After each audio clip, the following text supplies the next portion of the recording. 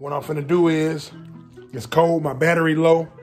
So what I'm finna do is, and it's a little foggy here, my battery low is cold, and I'm about to uh, get this car jacked up. As y'all can see, I already took the center caps off. So I'm officially about to try to try them on. So we're gonna see how this go, man. Y'all stay tuned. Let me get everything in position.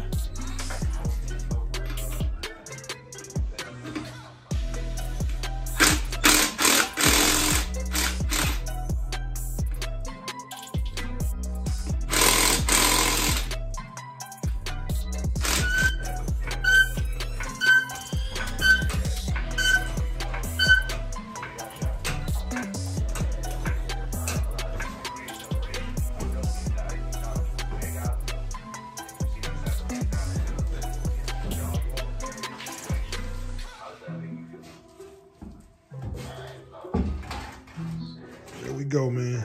Test fit for y'all. What y'all think, man? What y'all think? Let me zoom out a little bit. Get a little cloudy. What y'all think? What y'all think, man? I did this for y'all. It's freezing cold out here, man. I came out here just for y'all.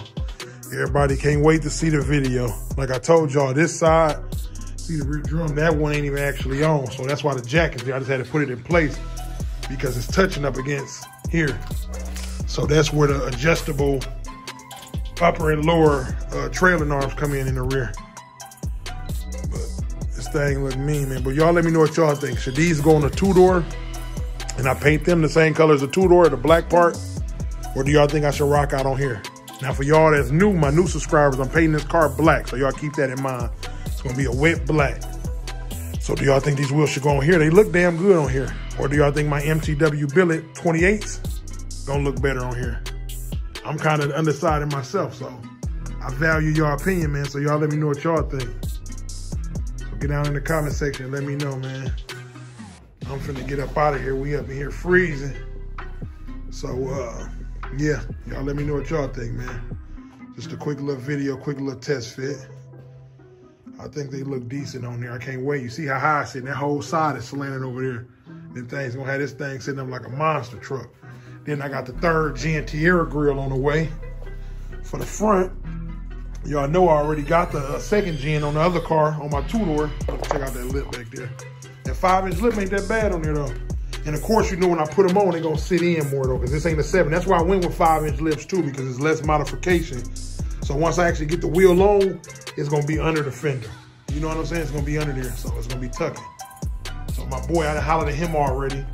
He got a few cars ahead of me, so before we get this off the paint, we gonna get these wheels put on here. So we ain't gotta do no cutting after I paint the car. So, like I said, I already chopped it up with him. I got all my parts.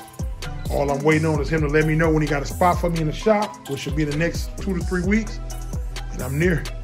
Shoot down there, let him do a little trimming for me, roll the fenders, and get them things on there, man. He done done this. This is what he do. He put shit all type of rims, big rims on cars, and he do pretty good. But it ain't it ain't gonna look the same without the chrome trim. So I won't mind with the chrome trim on there. That chrome trim just is a must, man. You know? I can't, it just look like it's factory when you got it on there with the chrome trim. They look like it came like that. So that's the look I'm going for. Cause I can easily chop it, hack it, take the chrome trim off there. Then they be looking crazy, but I need all my chrome trim on there, man. So that's how we gonna rock out. But I'm, I'm, I'm done for the night, man. So Tank said he freezing. He's shaking like a stripper in church. I'm out here cold, so I'm finna get up out of here, man. Catch y'all on the next one, though. Peace.